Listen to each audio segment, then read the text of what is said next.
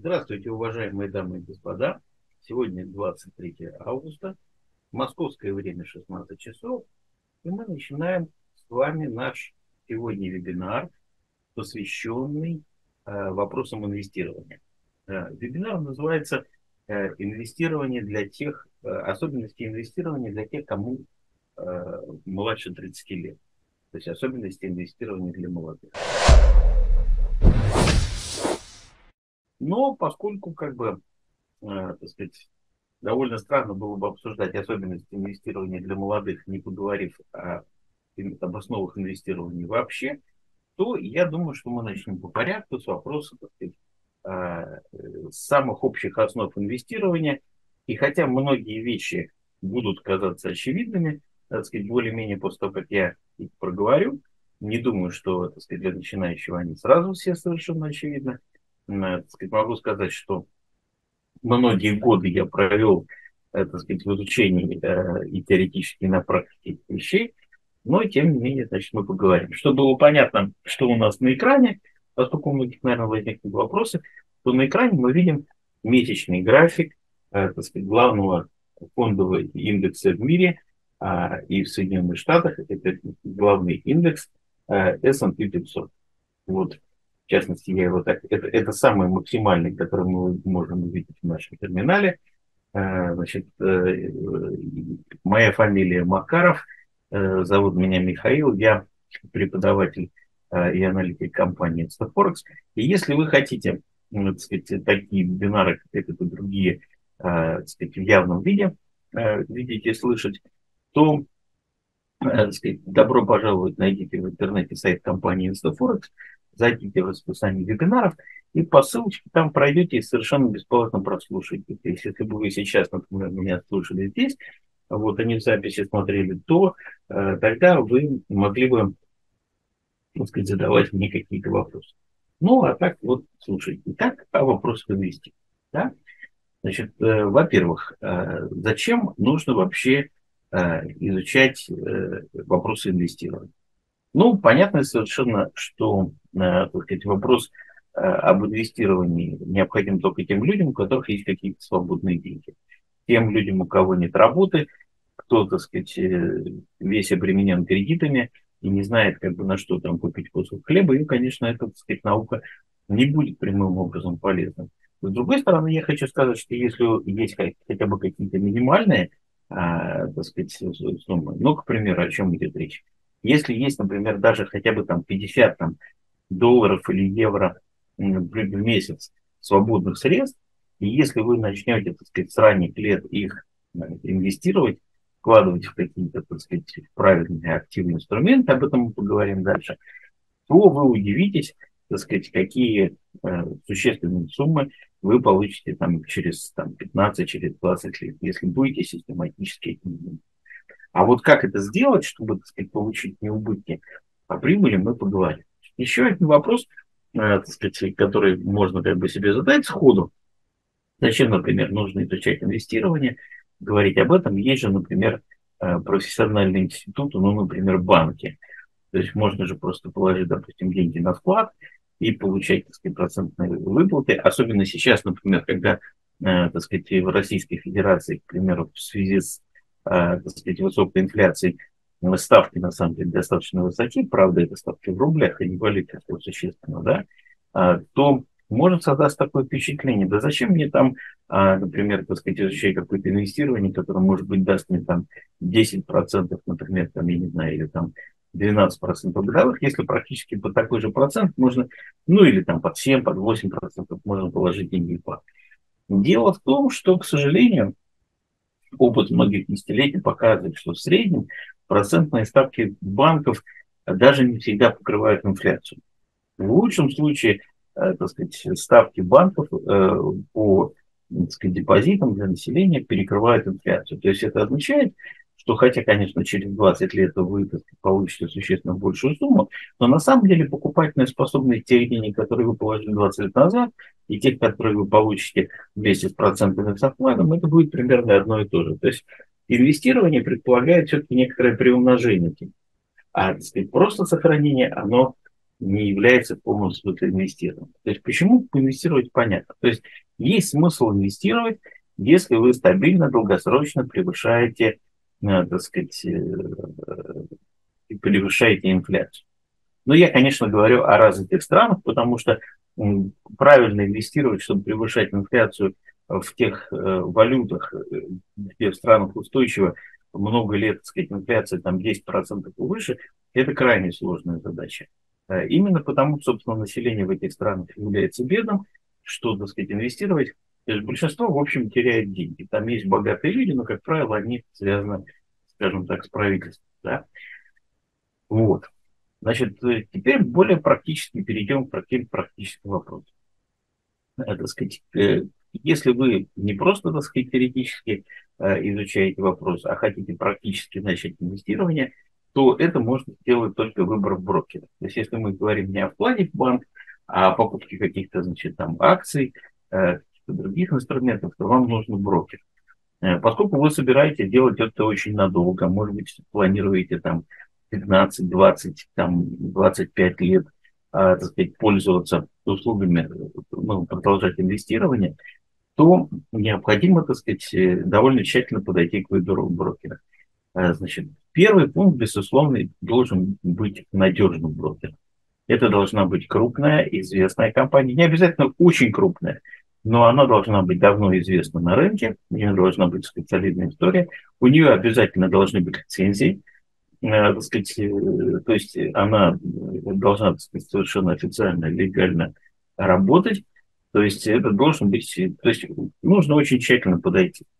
Но тут есть еще второй вопрос, что есть много очень, так сказать, брокеров, э, там, широко известных, я не знаю, какой-нибудь там Чарльз Шваб или какой-нибудь там Морган Стэнли, да, есть очень крупные институты, некоторые из них вообще не работают даже с мелкими клиентами, да, а, вот. Но э, дело в том, что, а, так сказать, несмотря, на высокое очень качество своих услуг, а, так сказать, среди них есть много, скажем так, недешевых.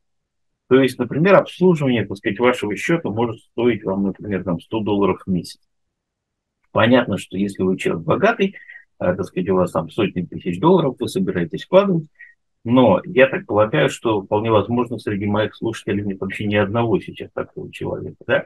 А абсолютное большинство так сказать, людей, для которых 100 долларов в месяц, это, ну, в общем, такая, как бы, ну, не нулевая сумма. Вы собираете держать счет очень долго. Да? 100 долларов в месяц вроде бы немного за один месяц, но за год это 1200 долларов. Вот. А может быть, вы столько как бы за месяц и, и за э, и, и своих инвестиций не заработали. Поэтому нужно ну, так сказать, найти брокера, у которого будет э, очень низкая цена за, за месяц содержания. В идеале, если она вообще будет нулевой, то есть если это будет, например, плата только за операции, поскольку вы, вероятно, будете не очень часто перетряхивать свой портфель, то, может быть, есть смысл поискать брокера, у которого будет нулевой э, так сказать, платеж вообще за поддержание счета и, скажем, небольшая сумма за какое-то совершение операции. Вот. То есть два пункта, значит, это надежность и стоимость обслуживания. Теперь перейдем к более некоторому как бы сущностному моменту, да, вот рынки и инструменты. Ну, я как бы уже намекнул и графиком, что я предполагаю, что э, вот, сказать, было бы самое разумное остановиться на инвестировании на фондовом рынке Соединенных Штатов. Во-первых, на фондовом рынке, во-вторых, на фондовом рынке США. Это надо объяснять, почему, почему так. Значит, давайте я поговорю немного о серьезных проблемах других рынков, особенно, так сказать, имея в виду непрофессионального как бы, начинающего инвестора. Имейте в виду, что если вы, например, там год или полтора занимаетесь вопросом инвестирования, то вы, несомненно, являетесь еще начинающим, так сказать, не очень квалифицированным. Да? Значит, э, пойдем, так сказать, э, поговорим о том, во что я бы точно вот не сказал, например, э, долгосрочно инвестировать. Да? Ну, например, криптовалют. Много очень там сказать, рекламы криптовалют, очень много так сказать, людей пытаются этим заниматься. Э, во-первых, рынок очень молодой. И я не помню точно, когда появился биткоин, но я точно знаю, что еще несколько лет назад, по-моему, меньше 10 лет, про него вообще никто ничего не слышал. Никто ничего не слышал о криптовалюте. А рынок с такой небольшой историей может сказать, в конце концов закончиться тем, что, ну, придумывают что-то, сказать, более интересное за замену криптовалюты, рынок вообще умрет. То есть вы, например, купите, потом это все резко упадет, будут большие убытки, а потом это все остановится, так сказать, надолго, там, если не навсегда. Это первое. То есть криптовалюта это то, где можно, где нужно быть готовым потерять одномомент вообще в течение там, нескольких дней вообще все потерять. Это явно не, не вопрос особенностей. Потом, например, валютный рынок. Э, есть очень много людей, которые занимаются операциями на валютном рынке. Правда, к сожалению, так сказать, э, число людей, сказать, стабильно зарабатывающих намного меньше, чем число людей вообще пытающихся этим заниматься. Но это, в общем, рынок спекулятивный. То есть это рынок, э, так сказать, спекуляций, но не рынок сказать, для инвестирования. Валюта на самом деле довольно плохо подходит к тому, чтобы, например, сделать там какой-то прогноз там, на много-много месяцев, так сказать, купить там одну валюту или другую а, и, и держать. Дело в том, что нет никаких оснований для того, чтобы, например, среди валют там развитых стран, а, например, доллар или евро или фунт или иена, например, так сказать, там много лет там долгосрочно росли в какую-то в одну сторону. Это бы говорило там о, о каком-то супер перекосе в глобальной экономике. Скорее всего, вот валюты развитых стран, они колеблются, то есть, э, так сказать, в таком широком очень диапазоне, но долгосрочно это, в общем, э, так сказать, если смотреть там за 10, за 20, там, за 30 лет, это, в общем, такой диапазон. То есть долгосрочного такого стабильного роста нет. То есть вложиться просто в инструмент и держать его там много лет, как бы смысла нет. Вот. Э, значит, э, так. Э, что-то случилось.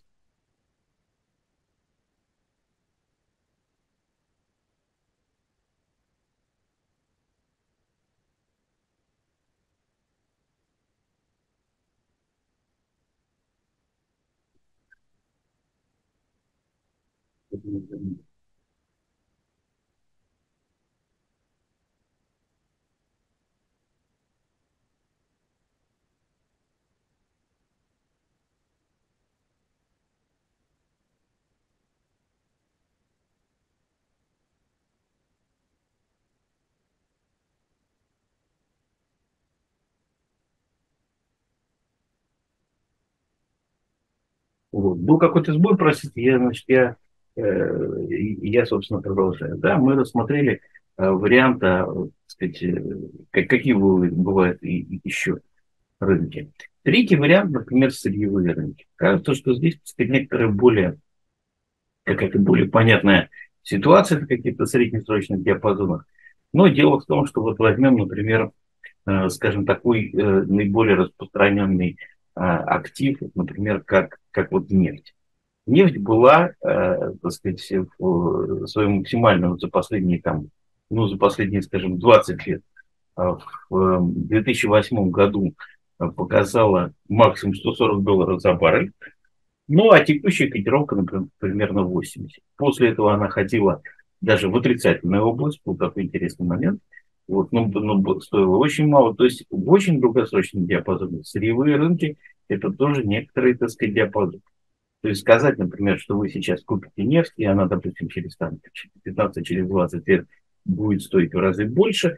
Есть такие люди, которые делают такие предположения, но практика на самом деле их не подтверждает. Дело в том, что это обратная некая саморегулирующаяся система. Для того, чтобы мировая экономика чувствовала себя нормально, сырье ну, нефть не единственный пример. Э, там металлы, э, так сказать, промышленные, э, так сказать, редкие, не очень, то есть цветные, черные металлы, зерно, например. Это все, так сказать, такие большие сырьевые ресурсы, которые необходимы всегда, так сказать, больших объемах.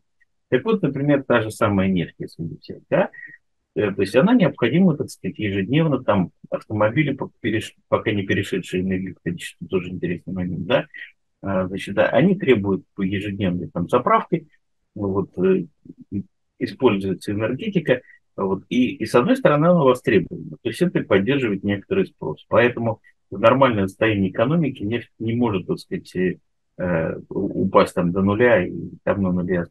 Спрос как бы есть, спрос есть, есть предложение. Вот одни страны продают нефть, другие страны покупают нефть, да. Но надо понимать, что Э, сказать, э, самое, что если у вас... Э, так, сейчас одну секундочку.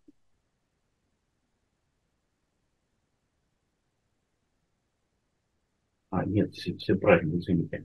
Я посмотрел технический вопрос. Так вот, если у вас, например, нефть очень сильно вырастет, это будет означать, что затраты всех потребителей нефти очень сильно вырастут. И экономика мировая начнет, так сказать, чувствовать депрессивно. И спрос на ту же нефть начнет падать. Падение спроса, так сказать, приведет к снижению цен на нефть, и цена на нефть более-менее выровняется. Вот это именно и произошло, например, в 2008 году. Да? С другой стороны, если, например, э, цена нефти очень сильно упадет, то, так сказать, потребление нефти станет гораздо дешевле, экономика, так сказать, мировая снизит затраты, это повысит спрос на нефть, и, и цены тоже, так сказать, отрастут. Поэтому, э, с одной стороны, э, так сказать, нефть более-менее стабильный актив, но как на этом долгосрочно заработать? От того, что она будет болтаться, например, там, скажем, от 80 там, до 120 долларов, так сказать, там 10 лет. Как на этом заработать, не очень понятно. Да? Вот. В результате получается фондовый рынок. В чем, так сказать, преимущество фондового рынка? Ну вот, в частности, например, как говорится, сколько можно заработать. Да? Вот есть такое понятие экономический цикл. То есть, когда заканчивается цикл роста, он там 10, а может даже чуть больше количества лет, э, так сказать, все упало, значит, кризис – так сказать, э, какие-то кризисные явления, и фондовый рынок падает. Вот последний раз, так сказать, глобальный кризис был в 2008-2009 году, да, и вот, э, так сказать, э, вот в минимуме можно было, так сказать, купить, например, там тот же самый, сейчас я чуть-чуть отодвину свою картинку, значит, можно было купить, так сказать, индекс S&P 500 – Э, ну, вот, скажем, я не буду брать самую нижнюю точку. Можно было, например, взять, там, например, 850. Вот это инструмент, который однозначно связан с индексом S&P 500. Да, про индексное инвестирование и каким образом фактически покупать, я, так сказать, скажу немножко позже. Да? Вот, например, по 800, по 850, по 900 можно было закупиться э, в начале 2009 года. Вот. Ну и, под, и цена выросла до 4600. То есть это практически, ну, в пять раз точно больше. То есть плюс 400%. Да, скажете вы, но это же там с 9 по 2021, это вот было отмечено в максиме 2021 года, ну и сейчас примерно такая же. Но мы возьмем, допустим, даже до 2023, если кто-то додержал до сегодняшнего дня, значит, это, соответственно, там пятикратный рост, там 400%, ну, пускай, да, пускай за там 14 лет. Но если очень просто поделить э, одно на другое, то получится все равно э, где-то, так сказать, 25% в среднем за год. Ну, это я беру простые проценты. Конечно, если это сложные проценты, ну, ну, может быть, это будет 15%. При этом, обратите внимание, это не требует практически никаких усилий. То есть, если вы купили и вот держали до самого конца, то вот оно вот, вот додержалось. Причем, если вы включите более короткий график и посмотрите, например, на дневной график, на регулярные какие-то откаты, если вы бы хотя бы понемногу добавлялись бы на откатах, то доходность была бы вот вообще там существенно, существенно выше. Да? Вот. Э, вот как бы смысл. Почему, как бы, то есть какая причина, почему рынок растет? Э, если вы на самом деле возьмете график вот здесь 2001, то есть это график за последние, там, грубо говоря, там 22 года, если вы возьмете там за 70 лет там, график, то вы увидите вот примерно такую же картину. То есть восходящую наверх кривую, причем на нем вот предыдущие кризисы будут все менее и менее заметны. Они будут восприниматься как маленькие такие вот, ну, так сказать, отклонения от основной генеральной линии. Э, почему все это растет? Потому что экономика растет, значит, вы покупаете акции, так сказать, успешных предприятий, которые производят прибыль, а, и в результате, э, так сказать, э, акции этих предприятий стоят все дороже, дороже и дороже. Да, там попадаются, например, акции обанкротившихся предприятий, таких бывает немало в кризисный период, но это как раз вот вопрос к индексному инвестированию. Да? То есть, если вы инвестируете прямо в индекс, то большинство, так сказать, экономика же вся не может обанкротится, да, а, так сказать, и, если она в нормальном состоянии. Более того, можно, значит, в ситуации, когда явно начинается кризис, можно из э, рынка выходить. Вот, например, посмотрим последний, последний этап. Вот рынок показал, допустим, максимум в самом начале, в начале января 2021 года, вот. И вот э, сейчас он как бы все, все равно глобально еще находится ниже тех максимумов. Можно было бы все это время вот сидеть и ждать сидеть и ждать деньгах, и только когда будет преодолен тот максимум, начинать покупать, ну и смотреть еще на общие экономические индикаторы. Да? Так сказать, вот э, сейчас высокие процентные ставки э, в, в США, и это, в общем, не очень благоприятно. Реальный сектор экономики, так сказать, начинает чувствовать некоторое замедление, но, э, так сказать, когда мы увидим, например, что ФРС прекратила точно повышение ставок, сказал об этом. Более того, когда она, например, начинает поддерживать экономику, это сигнал, что кризис как бы завершается и начинается новый цикл роста. Мы не знаем, на каком уровне. На сегодняшнем уровне будет находиться индексы ниже или выше, но впереди еще будет большой рост. И как бы сейчас ни казалось, так сказать, невероятным, что на, глядя на этот график, что индексы вырастут еще там на 40%, на 60%, на 100%, тем не менее это обязательно будет происходить. То есть в, в этом главное, так сказать, преимущество фондового рынка, более высокая предсказуемость и прогнозируемость по сравнению э, с остальными. Как инвестировать, так сказать, непосредственно в индексы? Вот то, что я говорю, что не, о том, как отдельные, про отдельные бумаги я скажу чуть позднее. Значит, существуют на американском рынке так называемые индексные фонды – Значит, э, вся работа которых состоит в том, что как только вы покупаете так сказать, акцию, допустим, этого фонда, то моментально, в ту же, грубо говоря, секунду, покупаются акции пропорционально вкладу, так сказать, в общий индекс. Как только вы продаете, они продают. То есть они полностью передают динамику индекса. Можно инвестировать, то есть инвестировать во всю экономику в целом, не разбирая, значит, какой сектор, какая бумага и так далее. Таких существует не один, не два, там несколько. Можно выбрать наиболее, так сказать, ликвидный. Вот, там самый объемный. Да, существует и на индекс NASDAQ, и существует на индекс S&P 500, и на индекс Dow существуют эти вот такие инструменты. Можно, так сказать, и, и это на самом деле очень популярно. То есть десятки, сотни, десятки миллионов американцев, сотни миллионов людей по всему миру, э, так сказать, они инвестируют вот таким вот образом, да. Вот, дальше. Значит, теперь вопрос, так сказать, почему фондовый рынок, я как бы пояснил. Почему э, именно рынок Соединенных Штатов? Да, вот какие, так сказать, э, аргументы в пользу э, инвестирования в американский фондовый рынок. Первый. Значит, это сам рынок самый прозрачный из имеющихся. Я не говорю, так сказать, никто не идеален. Мы, так сказать, не живем там в сияющем замке на холме.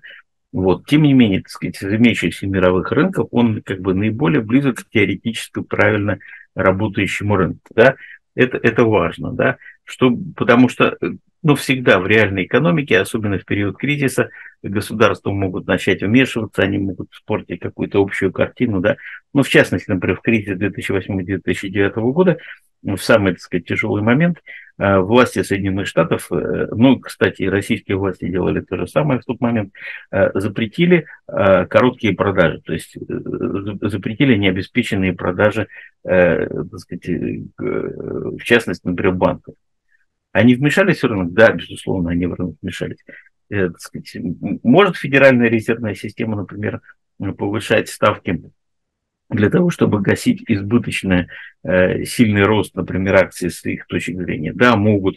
И, например, при э, Алане Гринспене, э, так сказать, в 90-е годы они этим пытались заниматься в конце 90-х годов. Это вмешательство? Да, безусловно. Поэтому не, это не абсолютно чистый рынок. Но из того, что есть, это наиболее, так сказать, чистый и грамотный. Второй пункт. Значит, Соединенные Штаты до сих пор являются самой большой в мире и самой развитой экономикой. Да, там, возможно, там по какому-то там паритету покупательной способности Китай, значит, может быть, уже опережает Соединенные Штаты в номинальных долларах. Экономика Соединенных Штатов там самая большая. Третье. Значит, здесь США самое развитое законодательство по защите прав инвесторов от махинаций, так сказать, возможных брокеров и эмитентов. Это важно. Четвертое. А важно понимать, что фондовый рынок Соединенных Штатов – это реально мировой рынок. Потому что кроме э, реально, так сказать, американских бумаг, кроме бумаг транснациональных компаний, которые занимаются бизнесом там по всему миру, как вот нефтяные компании, э, значит, э, как какие-то так сказать, другие там компании, имеющие представительство по всему миру и так далее, и так далее, так сказать, как, как например, какие-нибудь компании типа Apple, которые разрабатывают свои устройства в одной стране, делают, производят другой, или как автомобильные промышленность, там всякие слияния, когда там не поймешь, э, что когда, например, там э, Daimler, это, э, так сказать, компания, производящая Mercedes, на самом деле это американская компания, так сказать, по собственности и так далее.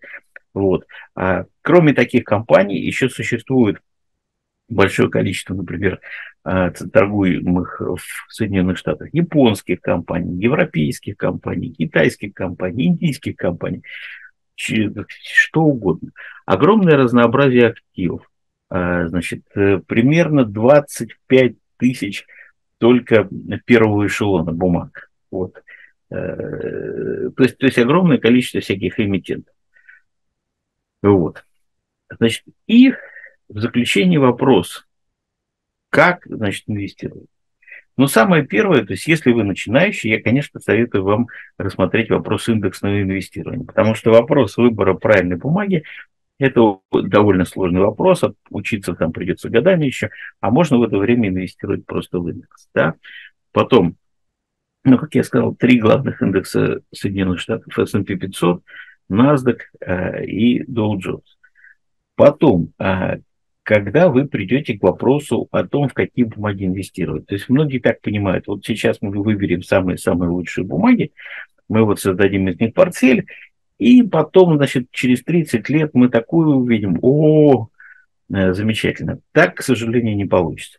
Дело в том, что, как я уже говорил, э, значит, э, существует такое понятие экономический цикл. То есть экономический цикл, вот э, он примерно, как правило, там 10 лет, сейчас у нас как бы аномальный цикл, он вот как бы тот цикл, который начался с 8 года, он, по сути, я так понимаю, он по большому счету так и не завершился, хотя это 15 лет, да, но тем не менее, значит, можно, правда, считать вот это вот, например, завершением цикла, но э, чего не, не произошло? А, и что как бы нам сказать, создает проблему? Дело в том, что в каждом экономическом цикле, как правило, свои лидеры роста. Это связано с технологическим прогрессом. Когда-то, например, так сказать, появились первые газеты. И это был бум, когда весь мир заполонили газеты. Потом появилось радио. Был бум как бы радио. Потом был бум телевидения так сказать, он держался очень долго. Первые, э, первое телевидение появилось еще до Второй мировой войны, но после Второй мировой войны, в 50-60-е е годы, телевидение заполонило весь мир. И казалось, что так будет всегда. Но вы прекрасно понимаете, что сначала там появился компьютер, потом появился интернет, и сейчас, так сказать, людей, э, которые получают информацию и смотрят так сказать, видео в интернете, существенно больше, чем те, кто смотрит телевизор. То есть новая эпоха, каждый раз новая эпоха. И в этой эпохе, безусловно, так сказать, новые лидеры. И очень редко, когда, например, какая-то компания становится лидером там, одного цикла, а потом становится лидером еще какого-то цикла. Правда, есть такие. Вот, например, исключительный случай, это компания, например, Apple, которая была, а, которая показала очень сильный рост, очень сильные результаты в 90-е годы, когда, так сказать, вышел вот ее этот MacBook – значит, э, так сказать, они создали свою э, операционную систему Mac и производили компьютеры, которые пользовались очень большой популярностью. Потом у них был довольно длительный как бы провал, то есть примерно там типа 10 лет. А потом они выпустили свой вот, смартфон, сначала iPad, потом iPhone, Э, вот это все. И это создало снова, так сказать, из них э, огромную, так сказать, э, по капитализации компанию, вот два. Но, как правило, так сказать, компании переживают, если у них бывает, вообще понятно совершенно, опять же, что только у малой части компаний бывают такие феноменальные росты. Малые очень компании дорастают, так сказать, до капитализации там 100 там, и выше сотни миллиардов долларов, да, единица имеет капитализацию примерно там 3,5 триллиона долларов. Больше 500 миллиардов долларов таких компаний на американском рынке совсем немного. Вот. Абсолютно большинство компаний таких результатов не показывают. Но такие лидеры всегда бывают. Всегда вот есть. Вот сейчас лидеры там такие компании, как э, Facebook, как Google, как Apple, а, значит, длительное время сохраняют очень большую капитализацию Microsoft, это тоже совершенно как бы понятно. Вот, и так далее. Но потом будет новый цикл. И вполне возможно, что через 10, через 15, через 20 лет те компании, которые сейчас, ну, Tesla, например, но ведь когда-то и Ford был, так сказать, огромной по капитализации компании. Сейчас он далеко, значит, вот и все эти Форды, э, так сказать, и, и, и прочие, так сказать, компании автопроизводители очень сильно уступают Тесле сейчас, которая там 5 лет назад вообще там 7 лет назад вообще ничего из себя, по сути, не представляла. Да? Вот. То есть и мы не можем никогда точно сказать, кто будет лидерами следующего цикла. Мы этого не можем сказать, когда такой вот период перехода из одного цикла в другой, как я бы сказал, вот сейчас наблюдается. Но они обязательно появятся. И поскольку это не очень быстро, то есть экономический цикл не заканчивается там ни, ни за месяц, ни за квартал, ни за один год, а, то мы, у нас мы, будет время, мы успеем понять, кто лидеры в этом цикле, и успеем, так сказать, к ним подключиться. Но это более сложная намного задача увидеть, понять, оценить начать постепенно вкладывать в эти компании. Вот. Поэтому я и говорю, что на первом этапе все равно нужно начинать вот с индексного инвестирования. И если вы это освоите, может быть, вам этого и хватит. Может быть, вам, так сказать, больше этого, этого как бы, э, так сказать, э, не нужно будет. Ну и, соответственно, вот сейчас все равно мы находимся, как бы, довольно понятно, что в начале цикла, потому что прошла глубокая коррекция. Сейчас нужно, так сказать, инструменты э, закупленные держать, на значительных откатах можно докупаться, и потом держать, держать и держать, и потом смотреть. А когда уже, так сказать, будет получен новый очень большой рост, когда, так сказать, там в разы вырастут ваши активы, и вы увидите, что при, приближается некоторая перегретость, можно будет, значит, вот существенную часть, наверное, там активов зафиксировать и ждать как бы следующего цикла. То есть вот так примерно выглядит инвестирование, да. То, что я вам сегодня хотел рассказать, надеюсь, вам, так сказать, это показалось интересным. Это была лекция об инвестировании. А с вами был, так сказать, Макаров Михаил, преподаватель компании Инстафорекс. Спасибо за внимание.